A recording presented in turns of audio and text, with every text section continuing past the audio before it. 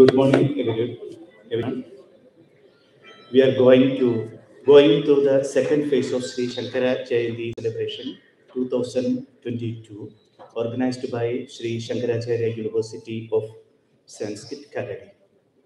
A two-day national seminar on Indian intellectual tradition is being held as part of this. Distinguished scholars and academicians from various parts of India have participated and presented papers in the scholastic conference. It is a great opportunity and exposure of, for the students, the scholars, and others. Today's session three seminars will be chaired by Dr. T. Mini, Director of IQAC and Professor of Sanskrit Sahitya, SSUS Kalady.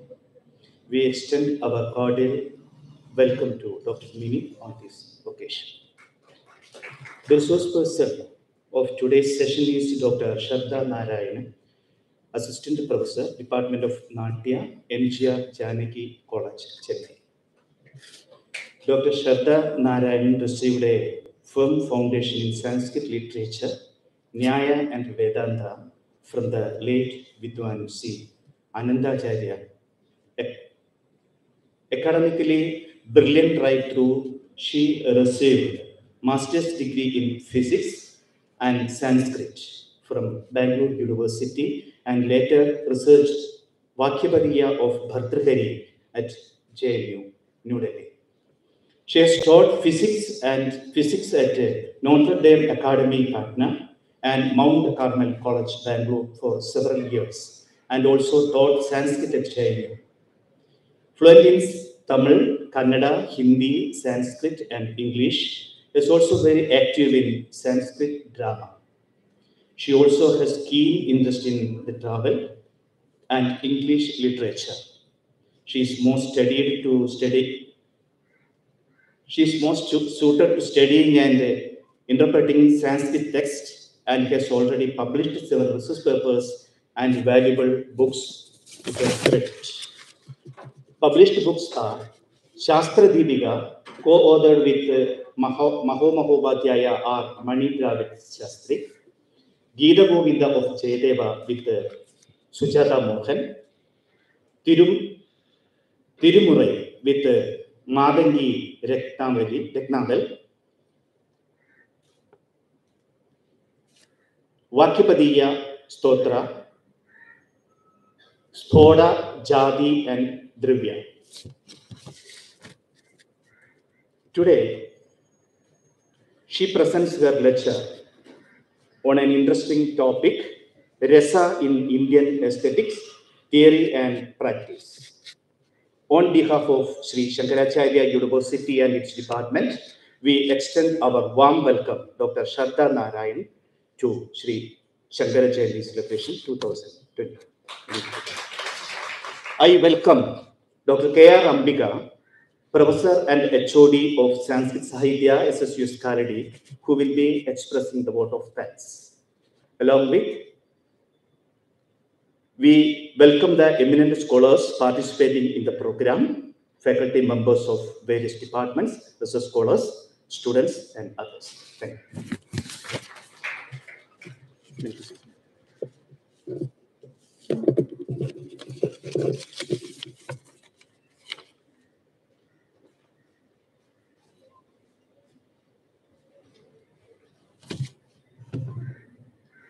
Good morning, everybody.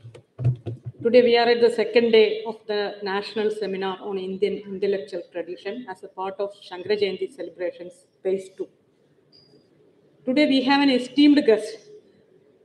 Her specialty is that she has mastered in physical sciences, then she has studied Sanskrit, then dance, and she is working on a, an arena of such subjects and an expert in all these subjects, I expect. We are waiting for her talk. I, do, I have no- nothing more to say now. After her presentation, I will uh, coordinate some ideas she had presented. Now, straight away, I welcome her to deliver the talk. Thank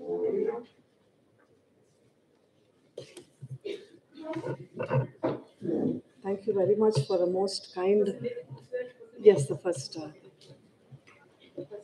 most uh, uh, kind and warm welcome. It's a great privilege for me to be here. And I really thank the organizers for inviting me. I uh, cannot agree with Madam that I am an expert, but I will be happy to share whatever I have learned uh, in, my, in the course of my discussions with the dance uh, department in my college.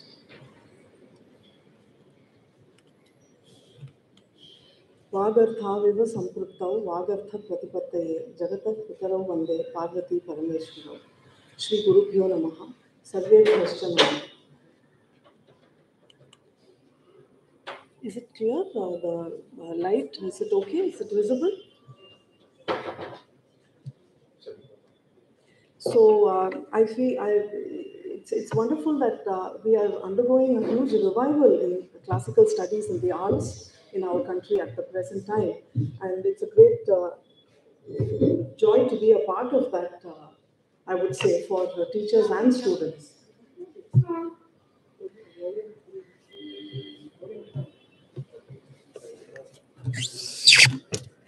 The Rasa theory is a, a fundamental part of the aesthetic uh, tradition of India.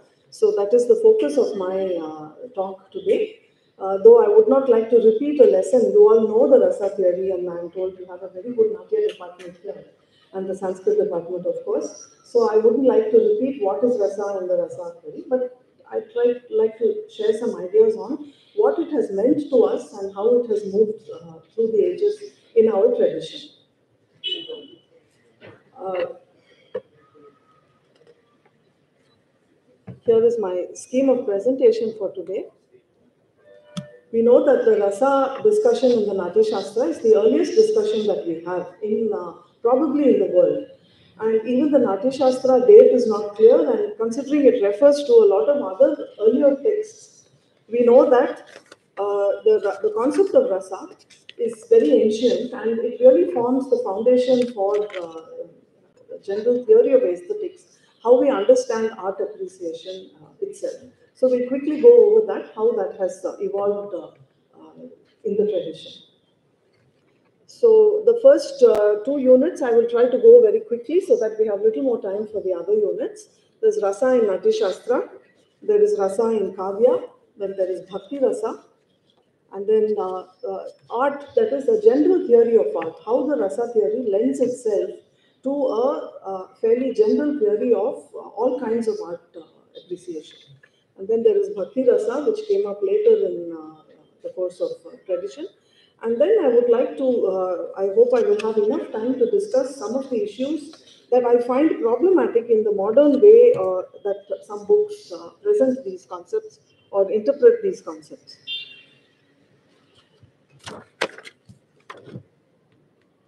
We know that uh, the Rasa Sutra is in the sixth chapter. It's a very simple uh, description of uh, what happens, how Rasa is created. It, it is very it, it is very striking in its simplicity, but it has lent itself to very, very advanced, complicated, and rigorous discussion in Shastra through the ages.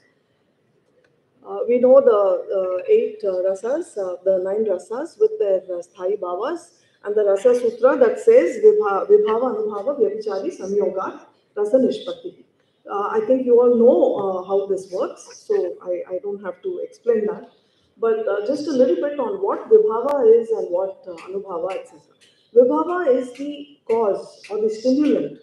Um, I often uh, relate uh, drama because in a dance department, uh, we have to firstly uh, remind ourselves that Natya Shastra is in the context of theatre, drama in full, not just a dance performance, as we understand dance performance in uh, Bharatnatyam or Mohini, uh, uh, Odissi or Mohiniyattam today.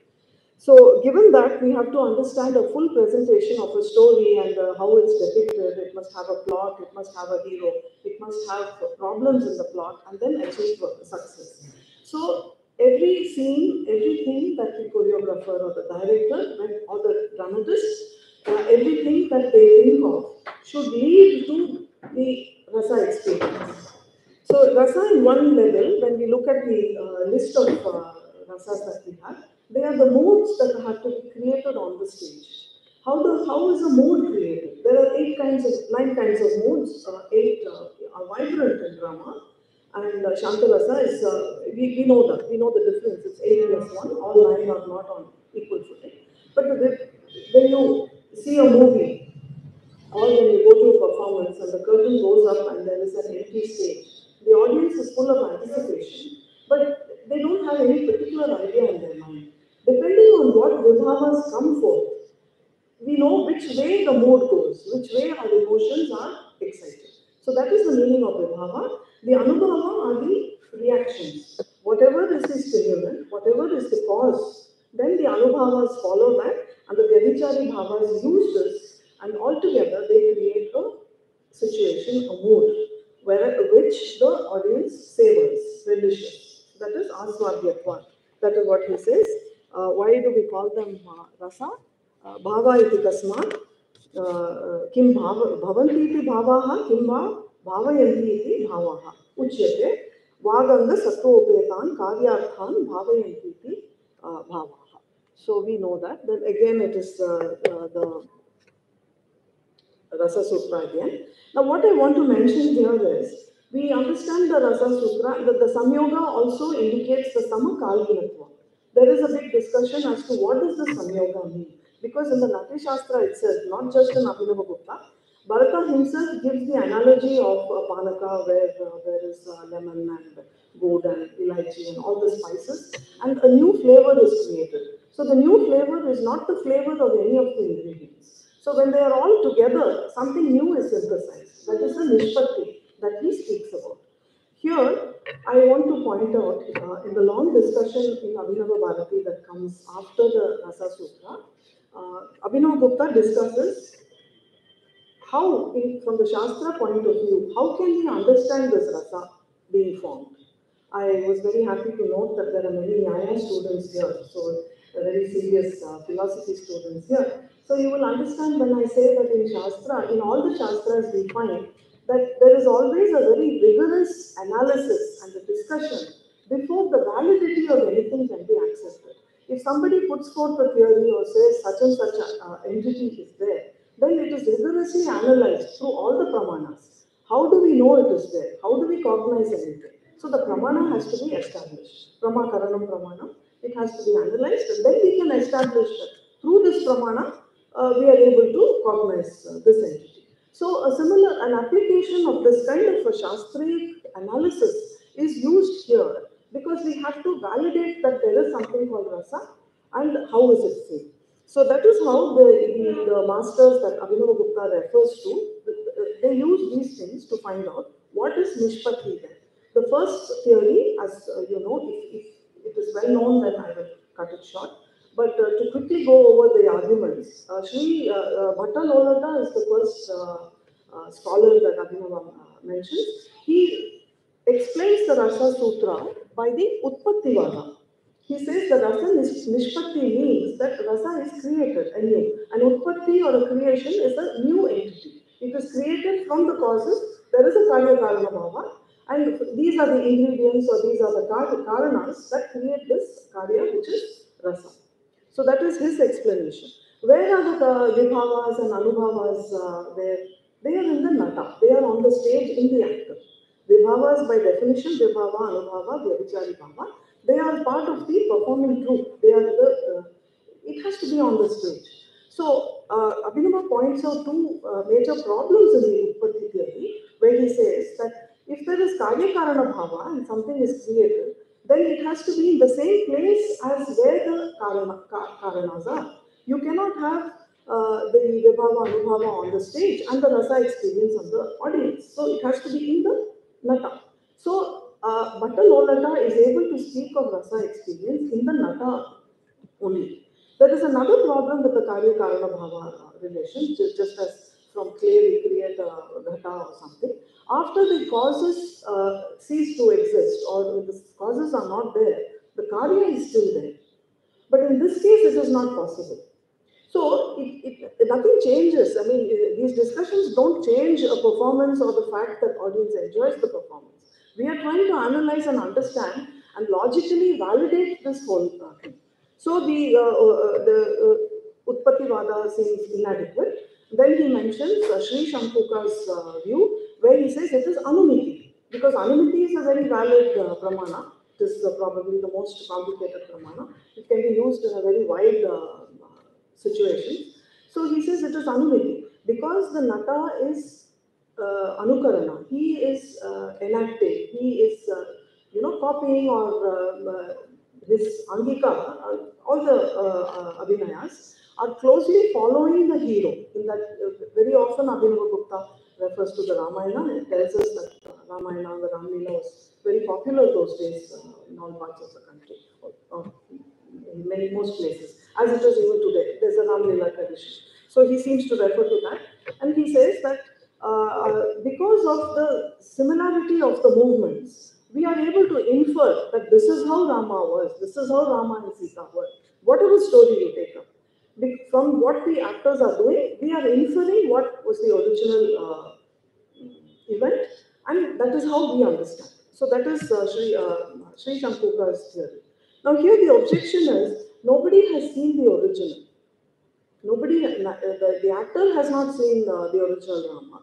The audience has not seen original Rama.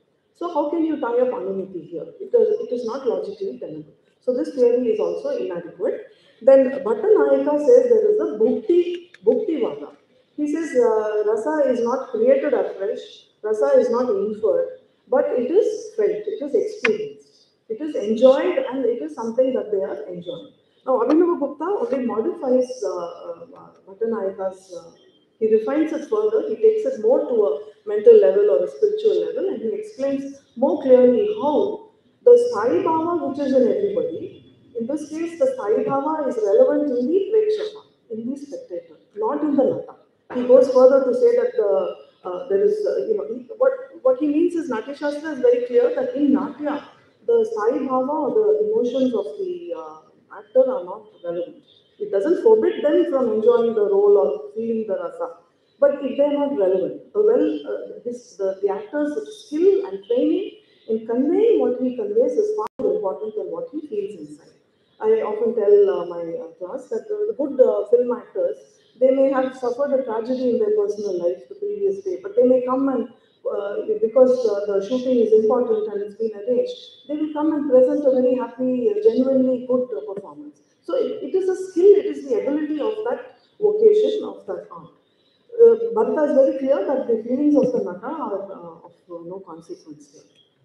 Um, is another point I wanted to make.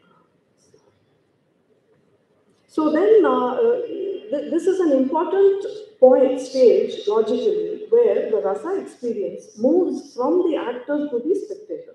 We must note that in the uh, arguments that Abhinav Gupta presents. So Abhinav Gupta takes this, he was a Shaivite uh, philosopher and uh, he was also a Tantra scholar and Kashmir uh, Shaivism was his subject. I don't know how much of that he directly puts in here. He was a great master who gave the commentary for the Natya Shastra.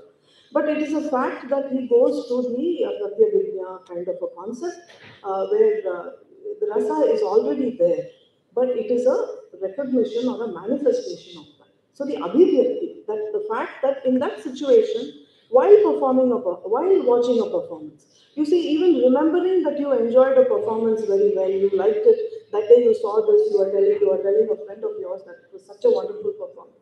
Even all that does not become rasa experience. Rasa experience is only at that moment that we are part of the uh, audience watching the performance. In fact, even any number of rehearsals will not be the same because we help the students rehearse so many times, but ultimately when we're sitting in the uh, dark uh, auditorium and the proper lights and the costume, that is the actual outcome. That is when we actually feel what the performance is like. So Abhinav Gupta has taken this to a uh, spiritual level. You know the alaukika aspect. Uh, for one thing, it is alaukika because it doesn't conform to the pramanas that we deal with in uh, and uh, logically. It is not rational, it, is, it does not follow the norms of the real world in which we live. So that is the first point for alaukika. The second point is that it doesn't follow the profit and gain or the personal, uh, what the person, personal uh, identity or their relations with time and space. In rasa experience, we are removed from our real time and real space, and we are absorbed in the uh, uh, performance, the story of the performance. The third point he makes, I mean, uh, I'm splitting it into three. The other point he makes is that it is a very high spiritual experience, which he has equated to Brahmananda Sahodara. So we know this, even in modern terminology, we talk of relaxation, de-stress and all these issues. Uh, it, it, it goes very similar to uh, the kind of uh, mental state that Abhinav Gupta has uh, uh, described. He also says that when we, when we know that uh, in a drama, as Bharata says, certain rasas help build up another, whereas certain rasas uh, destroy, they weaken the building up of the main rasa. So we can accept that there are smaller rasas or moods. So there will be many moods in a performance. There should be, even if it's a tragedy, there may be some comic relief, there may be some love scenes. So there would be a combination. So to give uh, relief and give variety. Variety is highly prized.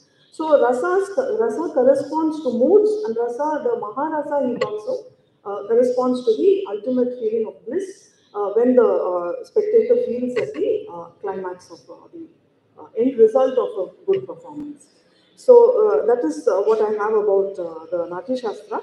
We just look at Abhinava Bharati here. I have uh, such विभावादि बलादिति भावाः वक्तव्याः तत्र न अज्ञातलौकिकस्य आदिचित्तवृत्तेः न अज्ञातलौकिक रत्यादिचित्तवृत्तेः कवेर्नटस्य वा तद्विषयविशिष्टविभावाद्याहरणं शक्यमिति स्थायिनः उत्तिष्ठाः So he says that uh, the sthayis are mentioned because unless a person knows in real life what that emotion is, you cannot depict or relate to it in art also. So the sthayi bhavas are the real emotions. When they are uh, evoked due to art, then they are rasa. तस्मात् हेतुभिर्विभावाक्यैः कार्यैः च अनुभवात्मभिः सहचारिरूपैश्च व्यभिचारिभिः प्रयत्नार्जिततया कृत्रिमैरपि तथा अनभिमन्यमाने अनुक्ततृसत्त्वेन लिङ्गबलतः प्रतीयमानः स्थायीभावो मुख्यरामाधिगतस्थायी अनुकरणरूपः। I don't know if it is clear द्वैस् sir अनुकरणरूपत्वादेव च नामान्तरेण व्यपदिष्टो रसः। विभावा हि काव्यबलानुसन्धेयाः, अनुभावाः शिक्षातः, व्यभिचारिणः, कृत्रिमजनित Anubhav Arjuna Bharat. I'm reading this text because it will be relevant in my last section when we are looking at some of the modern interpretations. So then I would like to connect it to see if uh, there is room for those kind of uh, uh, doubts and interpretations or not. Because uh, it's very simple here. Uh, the when it comes to bhavaha, uh, the Natya Shastra says he says is what are bhavas? He says uchyate vaganga satvopetan kavyarthan bhavayanti iti bhava iti. अतः विभाव कस्मा उच्य से विभाव विज्ञात विभाव कारण नीत हेतु पर्याय। विभाव्यन्ते अनेन वागंग सत्वाभिनया इत्यतो विभावः। यता विभावितं विज्ञातं इत्यर्थान्तरम् so he says we mean by that just as we say it just pervades that whole scene a mood of gloom pervading the scene We use these kind of sentences in uh, English while writing a story or describing. So they are referring to that. अथ अनुभव इति कस्मात् उच्यते anyway ही sees तत्र विभाव अनुभवौ लोकप्रसिद्धौ You see, modern uh, people point out that uh, Bharata has not uh, defined sthayi bhavas, and they point out that Bha- Bharata has not uh, defined or um, explained the vibhava and anubhava.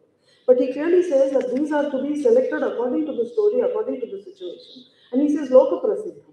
So when he has not defined, it means that there is full freedom to uh, take it the way they want. Now we come to a different aspect. Uh, by the time we come to the uh, 12th century or so, there is a distinct shift. What we see in Natya texts, there is a shift from Natya, from as a whole drama, to dance, dance pradhana. The Nritta Ratnavali and the Sangeeta Ratnakara don't speak much about drama. They speak a lot about dance. So we understand that uh, Rupakas had uh, given way to Uparupakas. Maybe drama was still there in vernaculars and folk styles, but when we look at the Sanskrit stream and the uh, Shastra for Margi dance, we find this shift. In uh, the Sangita Ratnakara, this, uh, these shlokas put uh, the essence of the entire discussion on rasa in Natya Shastra very succinctly. Uh, maybe I will save time in not reading that. Uh, next, we come to rasa in uh, Kavya. Even before the time of Abhinava Gupta, the concept of rasa had been applied or extended or uh, explained in the context of literature alone. Literature was earlier understood as something heard. Uh, modern writers say literature read and then they look at the printed uh, verses and uh, even more uh, commonly uh, uh, modern scholars and Western Indologists look at poetry in their translation. So for them, it is more of the meaning that they are looking at. They are not fully tuned to the actual structure of the poetry or how it sounds. Uh, most poetry was heard either in parayanams or harikathas or with instrumental uh, accompaniment also. It was not prekshya, it was not seen, but it was heard. So the, the audible aspects of poetry is actually very important. Uh, so they say uh, that is one thing. But when it comes to, comes to rasa, it's a mood that it evokes. Of course, the music and the percussion, the drums, those help. Because if it's suspense, then the percussion is there. If it's adbhuta or fear, then it's more striking. If somebody is saying something very serious or profound, then you have the drums uh, aiding that. So definitely, uh, instrumental accompaniment helps in the conveying of the mood and the rasa, even in literature. We do have uh, the Dhvanyaloka, of course, is the uh, landmark uh, text that applies this. Again, I have a long quotation. I don't know if there will be time. अयमेव हि महाकवेर् मुख्यो व्यापारो यद् रसादीनेव मुख्यतया काव्यार्थीकृत्य तद्व्यक्ति अनुगुणत्वेन शब्दानाम् अर्थानां च उपनिबन्धनम् So there he says uh, in uh, in literature what happens is the person is able to imagine all the aspects of vibhava, anubhava, etc. They are not visible before his eyes, but by the power of uh, the narrative, we are able to uh, conceptualize the whole situation, and the mood comes through. So this is what they explain, and Abhinava Gupta also uh, writes. Uh, he says, Tadrupa rasa charvanayatu prabhande. Uh, I will not read it, I will quickly summarize. Uh, he says, in the same discussion after the Rasa Sutra, he says that in a composition of any length, in a prabandha, then the vibhavas, anubhavas, all these can be mentioned.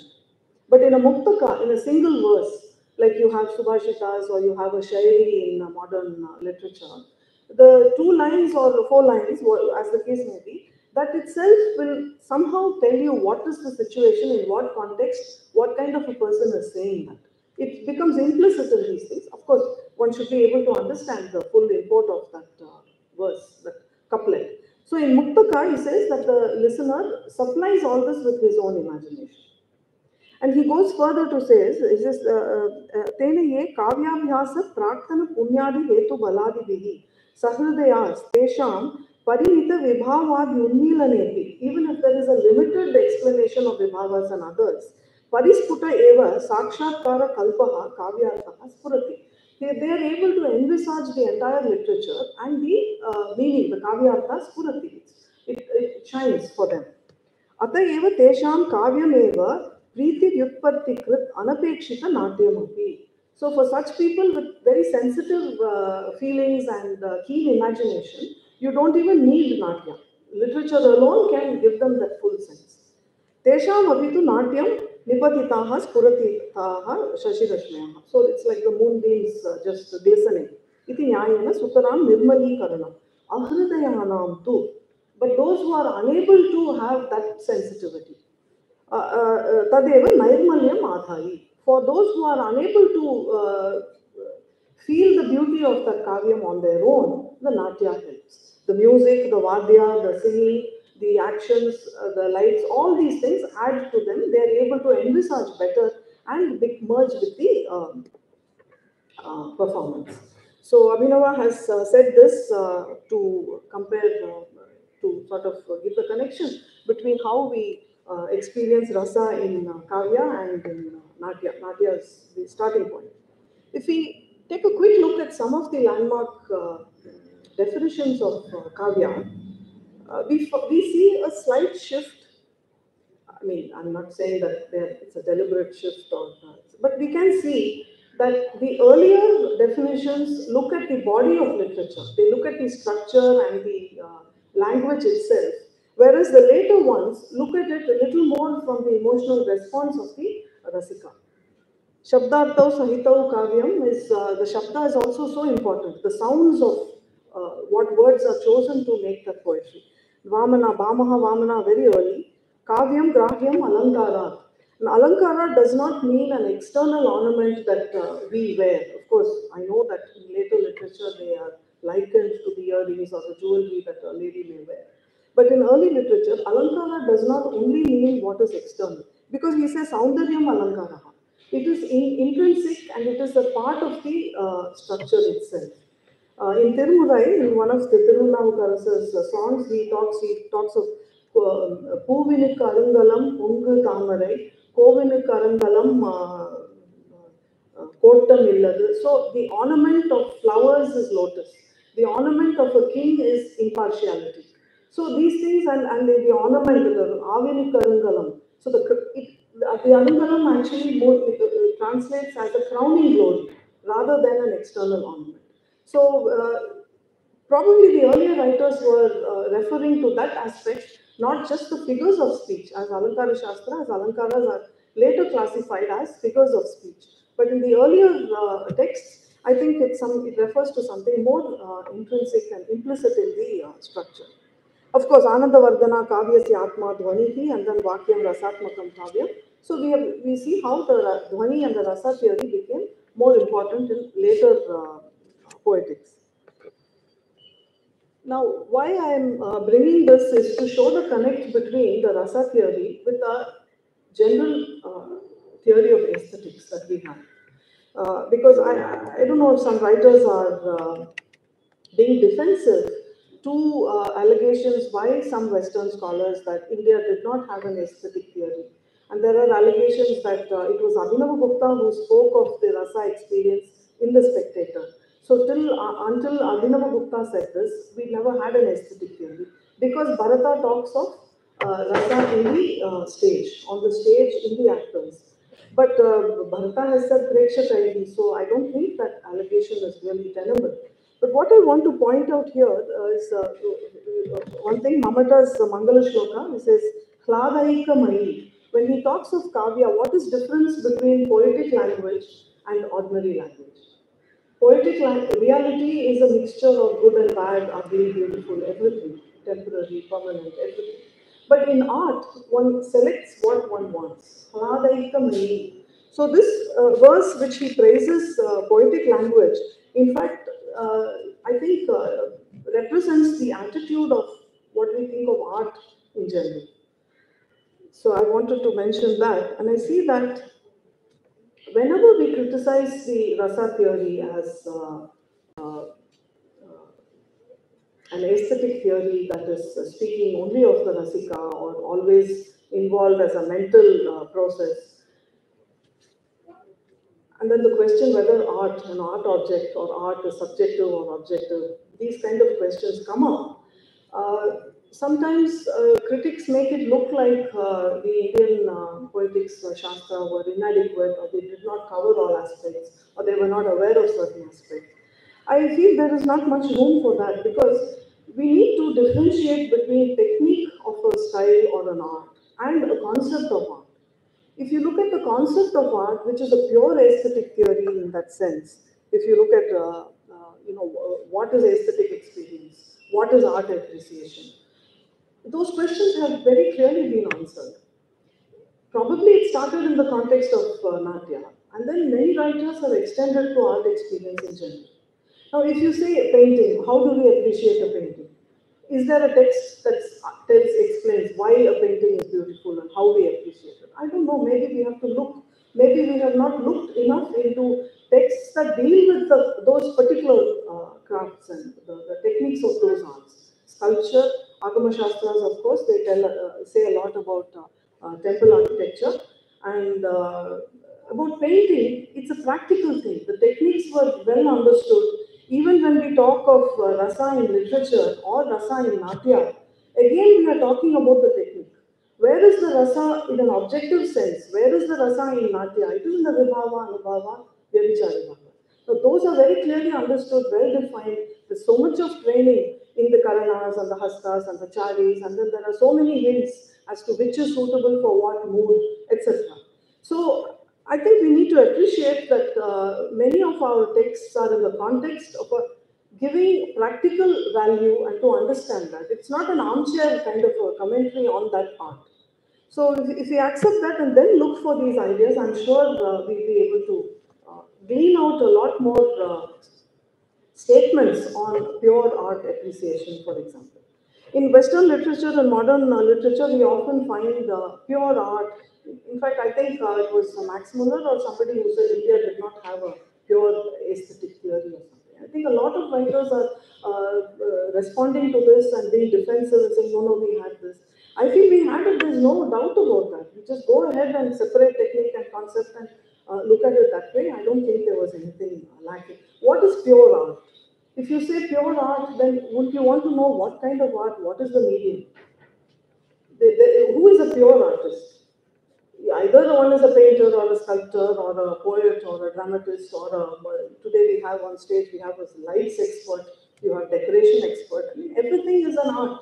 So then you have people who specialize, then it goes down to technique. But what is the overall um, comprehensive uh, concept that unites all these? Nahi pravartate. Nobody does anything except for enjoyment. The outcome should be enjoyment. So I think all the basic theories are there. It's a question of how we uh, look at it. Uh, temple uh, art and uh, sculpture was also highly symbolic in India. It is not just a, a decision on what is aesthetically pleasing or uh, what is beautiful, but it carried a lot of symbolism in it. Like the Nataraja icon is uh, considered one of the most artistic compositions in the whole world, but it, it is very um, uh, it is replete with so much of symbolism. We have the Panchabhutas and the Panchakriyas, and then that uh, dwarf uh, that uh, he is uh, stamping upon. There is so much of profound symbolism also that has been absorbed into the artistic representation. In fact, many of the arts, uh, in, in, such examples, temple sculpture and frescoes and art, uh, it was a way of transmitting philosophical ideas or concepts into a visual way that people would easily understand. I wanted to mention this. These are much later. These are in the Middle Ages in recent uh, centuries, uh, where the Ashtanayikas of the Natya Shastra have inspired so much of Rajasthani painting, Mughal painting. If you look carefully, you'll find all the motifs. The first one is uh, Kalahantarika, where the Sakhi is trying to uh, mediate and make peace. And uh, Radha and Krishna became motifs of romantic literature and uh, Shringara Rasa. They are not uh, necessarily very uh, devotional or religious uh, uh, paintings, but they became very popular because of so many songs in Hindustani music. Also, you have so many situations of Krishna teasing the gopis or Radha and Krishna or any gopis with Krishna. So it was a very popular motif in music and poetry, and we find in painting also. That is Khandita, uh, Vasaka Sajja and uh, Abhisarika. The Vasaka Sajja has the uh, typical motif of the bed of leaves that she has covered, collected in the forest and so that she's able to sit uh, comfortably on a soft bed of soft fresh leaves, etc.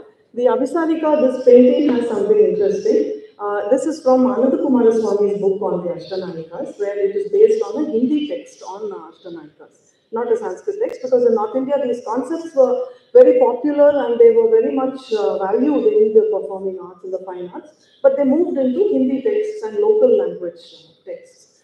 There, uh, in, uh, nowhere have I seen uh, in Sanskrit texts as part of Abhisarika, but in the Hindi book it says that she was so eager to meet her beloved that the lightning and thunder didn't stop her. And the snakes and scorpions didn't stop her. So those things are added here, and I would like to mention that it is not part of Sanskrit Dharma. Anyway, we come to a slightly different uh, topic now because we are dealing with rasa. Uh, we know we have uh, 8 plus 1, 9 rasas, and then we have Bhakti Rasa also. With the advent of the Bhakti movement all over the country, people were uh, reveling and enjoying satsangs and bhajan sessions, where it is not like watching a performance on a stage. In a satsang, every person is a part of the activity. They are merged in the activity, and the feelings are much stronger, and they, laya, they, they are merged in that. So over the centuries, this has also been uh, studied and uh, explained. Uh, the uh, Bhakti Rasamrita Sindhu of uh, Rupa Goswami is a relatively later text. It's about 1550 is the date given, middle of the 16th century. By that time, probably the devotional depiction of Puranic stories had reduced in India. Maybe it had become part of folk theatre, but in cities and in more sophisticated uh, performing arts, that had probably gone out of vogue because of uh, political reasons, socio-political reasons, economic reasons. Of course, it is there in folk theatre, but uh, I think that we have. Okay, now that's comfortable. Yes, I have the last two sheets. I think it should be fine. Oh, I have all those discussions. So anyway, so that, that is Bhakti Rasa. Bhakti Rasa, when we analyze, he very beautifully points out what are the vibhavas, what are the anubhavas, etc. It is similar to literature, but it's a much deeper involvement. I think I should be quick about this.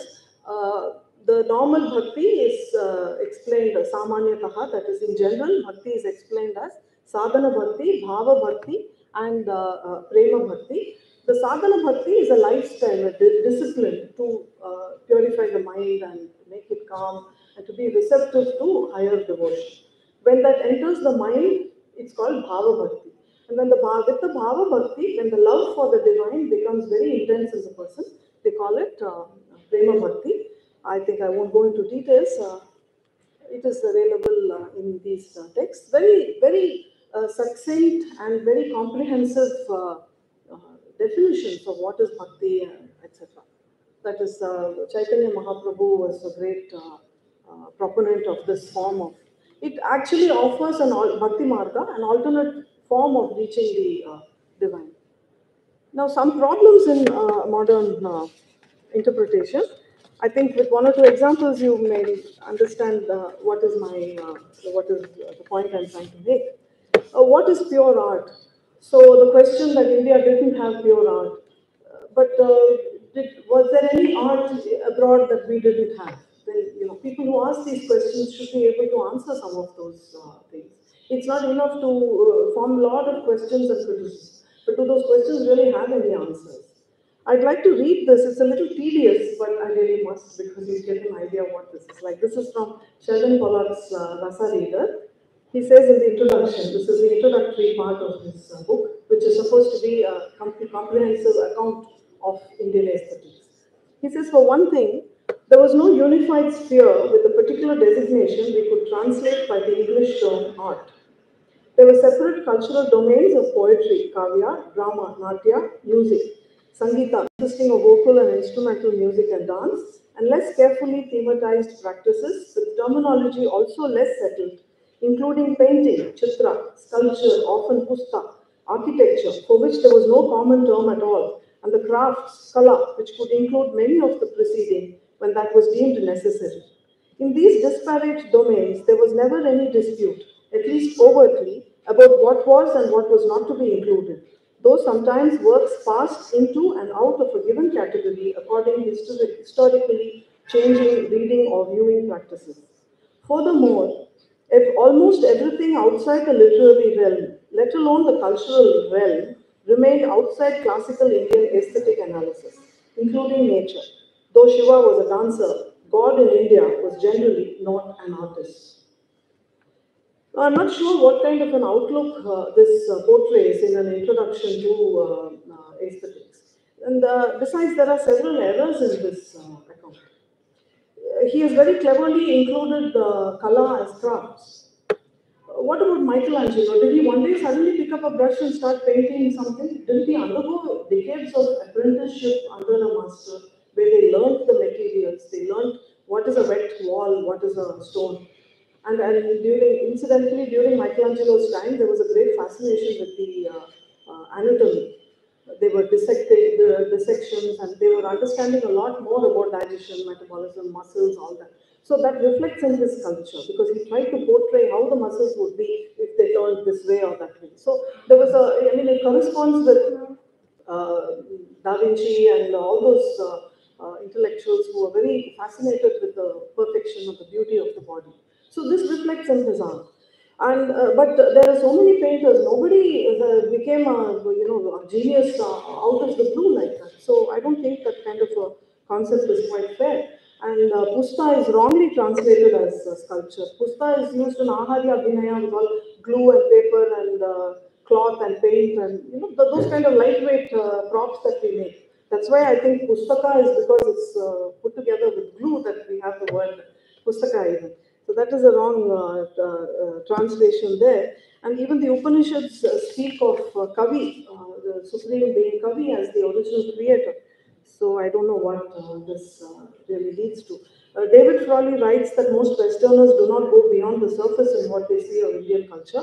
He says the Western mind tends to reduce Shiva to iconographic and anthropomorphic appearances, which derive from a very different cultural milieu of ancient India. That is uh, David uh, Frawley's. Uh. So it's not as if the Western world would have a pure artist. If you say artist, immediately you say, oh, what does he do? Uh, So unless there is a medium which will dictate the whole form of that art, uh, how can you speak of a pure theory of art? So then the question whether art is in the object or is in the mind of the Rasika. We have many quotations that uh, say it is objective and then it says uh, it's uh, subjective also. Uh, there is a book by V.M. Kulkarni on Abhinava Gupta's aesthetics. He has collected a lot of uh, sayings uh, on both sides. One of them, he says, uh, Abhinava Gupta says in Lochana, he says, Nahi vitarago viparyastan bhavan pashyati. Nahi asya veena kwanitam kaka radita kalpam pratibhati.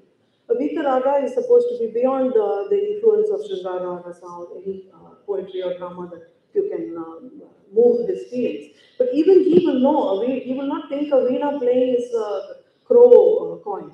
They will not be moved by that, but they will know, know what it is. So that points to the um, objective part.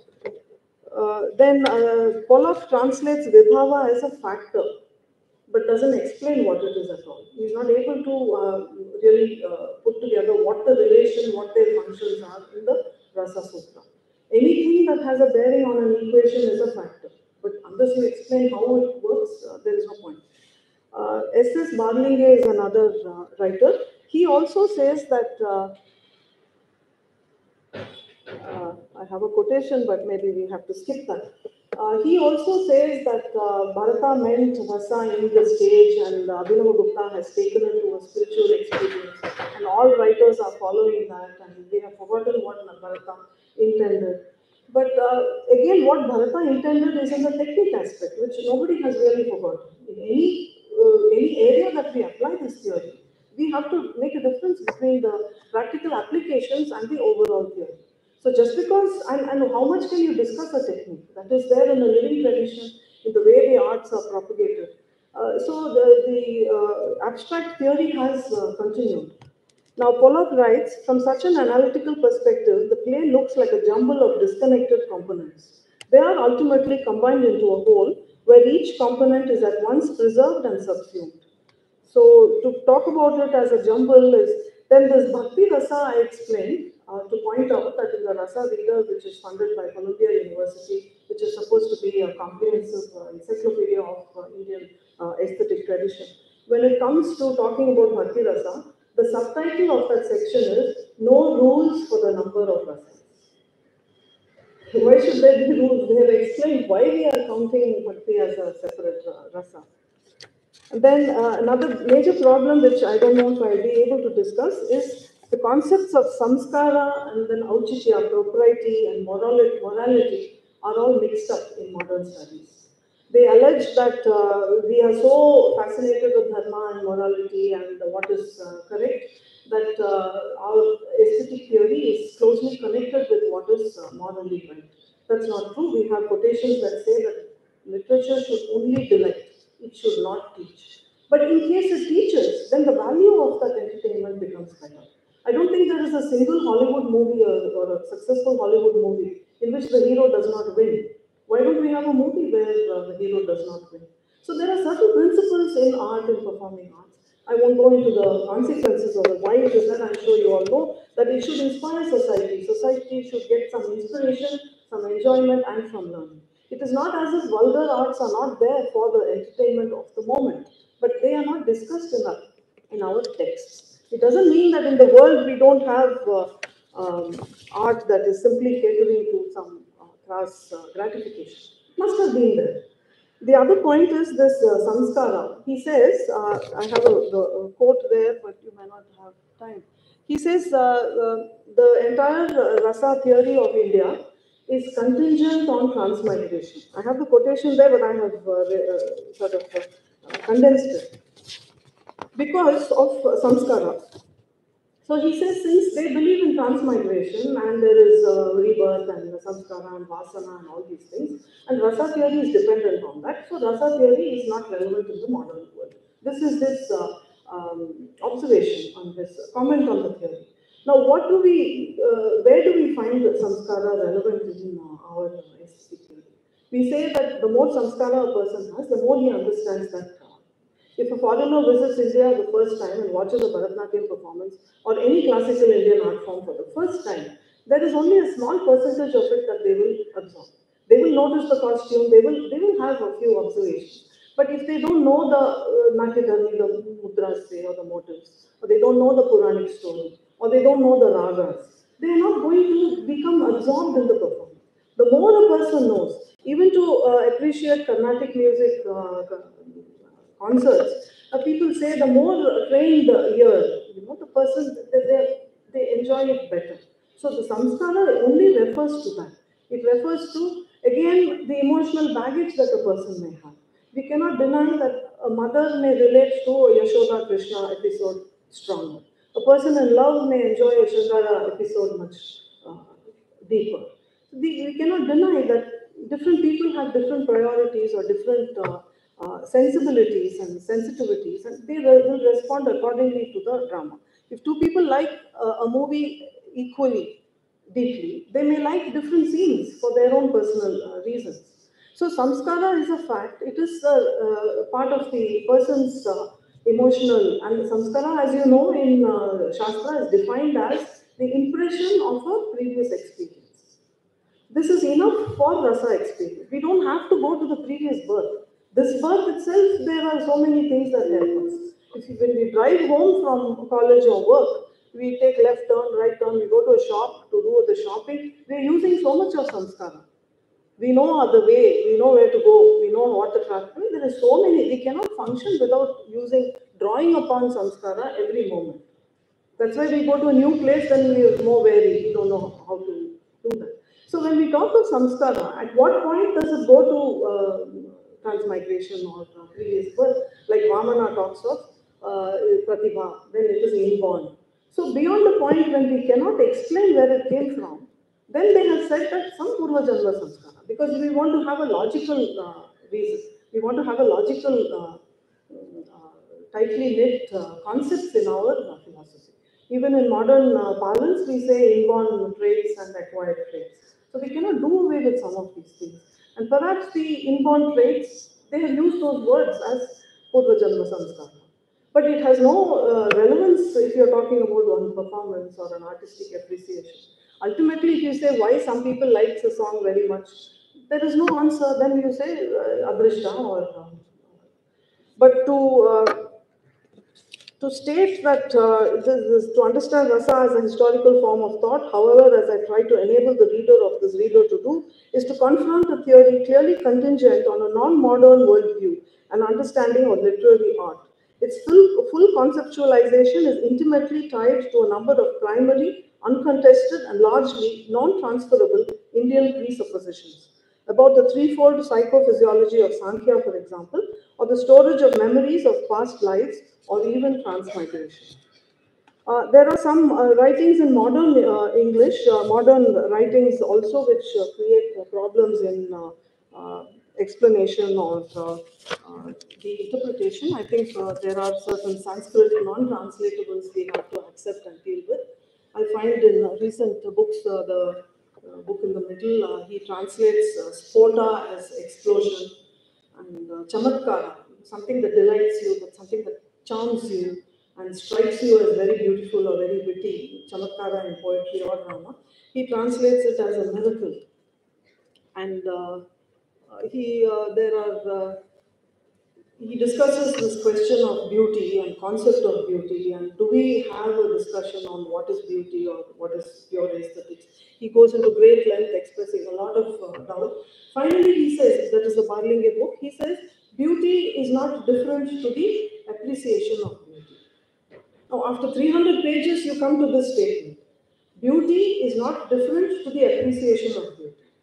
So that is what they have said from the beginning, and there is nothing one can really do about it. It's not like a modern person can come up with a better theory. The third book is what uh, my colleague and I have written on uh, Gita Govindam, the complete translation. Uh, it has a good introduction, but at a basic level, for both the Natya tradition and the Sahitya tradition of our country. So sounds and my last point. Uh, many writers, Pollock and Barlinge, in fact, I have the quotation there. They discount the sound value of the uh, poetry uh, totally. Uh, Barlinge uh, criticizes Natya Shastra for including uh, alphabets and phonetics under Vinaya. Because in those days, when they're dealing with the subject of language, they start from the basics. They start with what the phonetics are, what is uh, Dirgha, because you need it for Vrita, you need it for Chandas.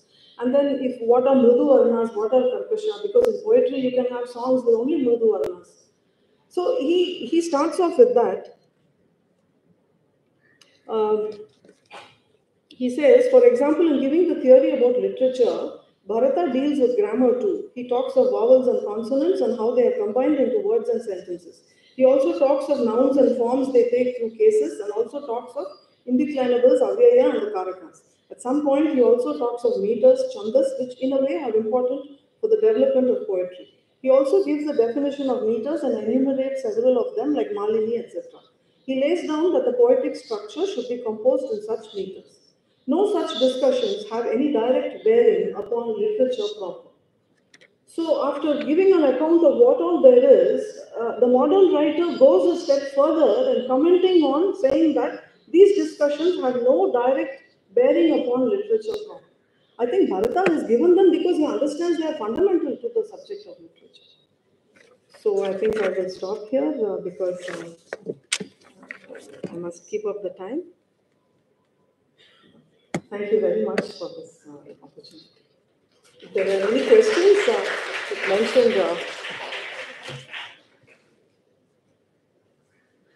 Thank you, madam, for keeping up with the schedule. She had presented a well-studied paper on the topic of Rasa and its uh, Rasa theory, its practical aspects, the aspect of spectator, etc. There is a 10 minutes time for discussion. Any student or teacher who is interested can ask her questions.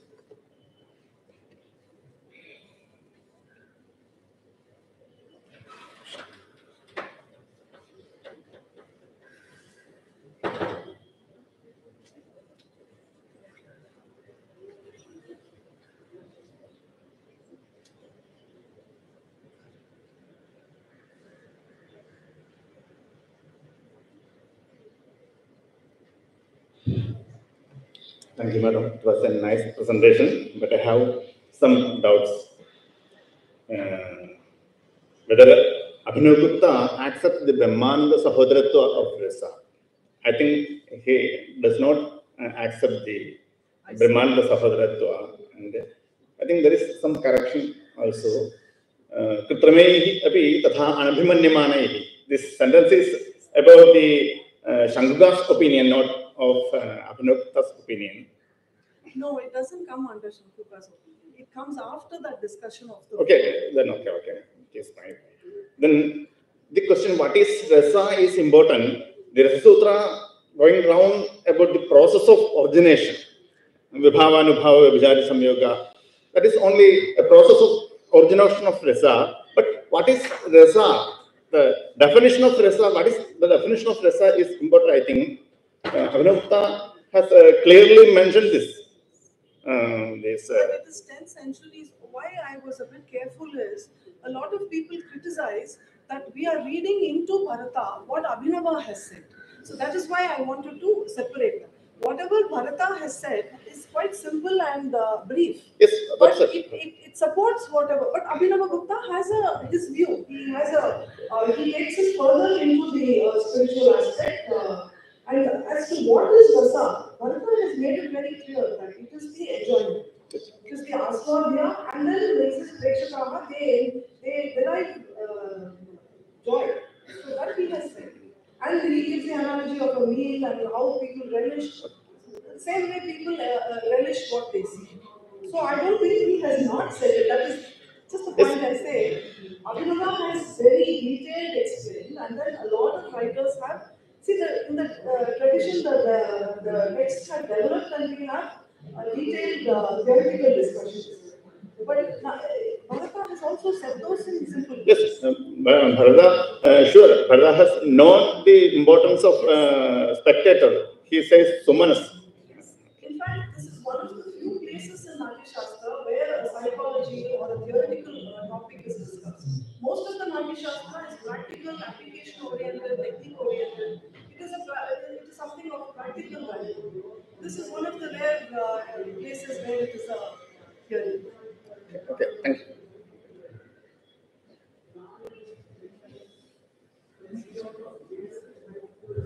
First of all, I congratulate for the nice presentation.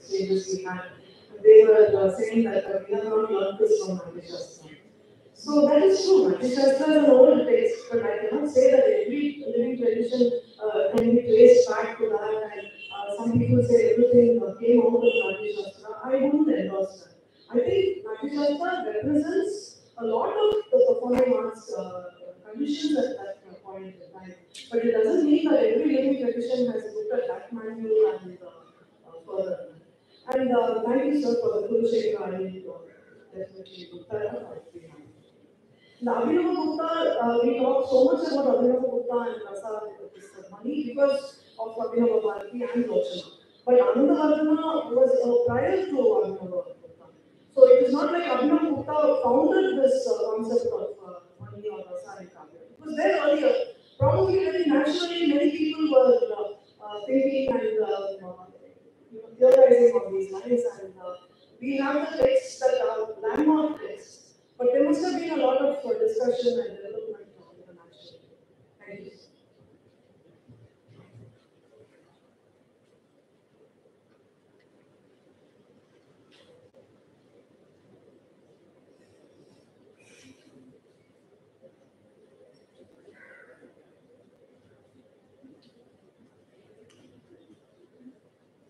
Ma'am, uh, uh, it, it was a good paper. I really enjoyed it. But I have a question. I am a philosophy student, especially uh, from the AI department. I have a question. Um, how is um, Arthapatti included in Natya Shastra?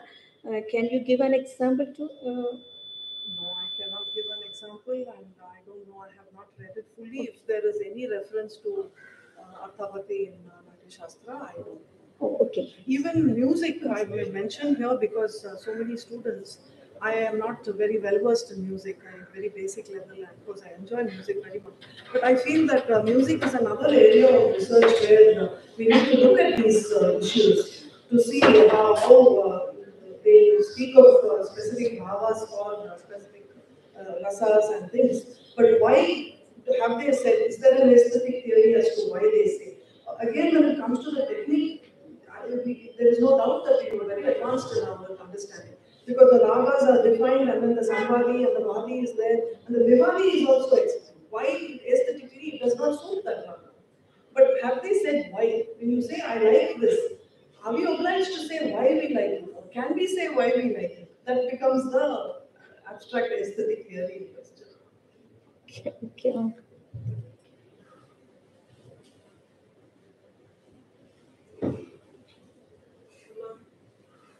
is the problem by considering Bhaktirasa as a separate yasa? Because sometimes we have to accept Bhakti Rasa as a separate one because when we study Shivananda Nagari, actually Shivananda Nagari is a kavya.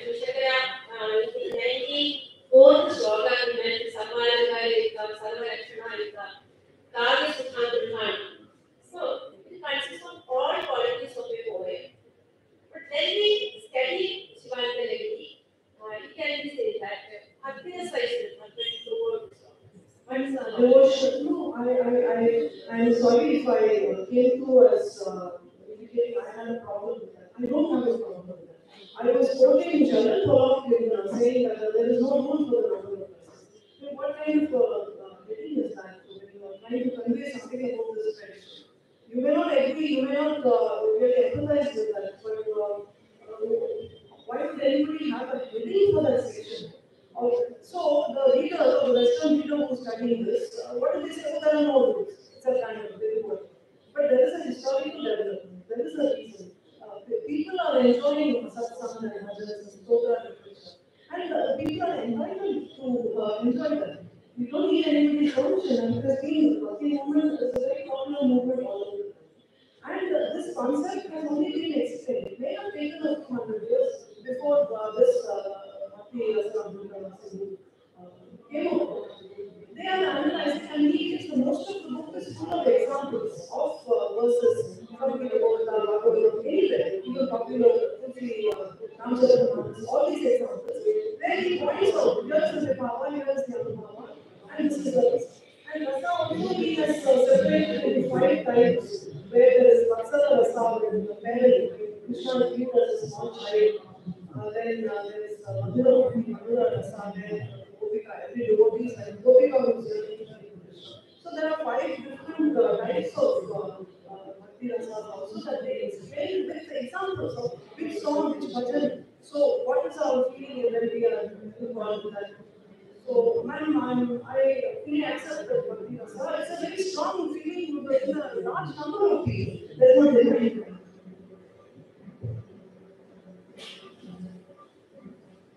I think no one has any other questions. Now, I think we can conclude this session. Uh, I invite Dr. K.R. Ambika, Professor Department of Sanskrit, to deliver the formal, formal vote of thanks.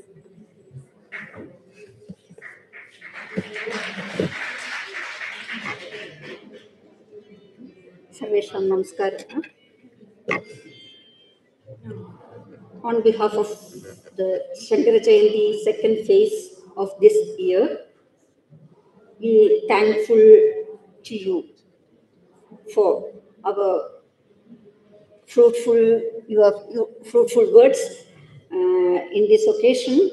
Uh, I extend my sincere gratitude to uh, Dr. Sharda Narayanan. Then I convey my regards to Dr. Timini, chaired the session, and thanks to uh, Dr. Satyan uh, giving the welcome speech. I extend our sincere thanks to our beloved students, teachers, and other uh, scholars and well well-wishers to attend this function and participate pres- uh, at, uh, uh, at- participate in this uh, occasion. Uh, I thanks to all, everybody, and thanks to all. The question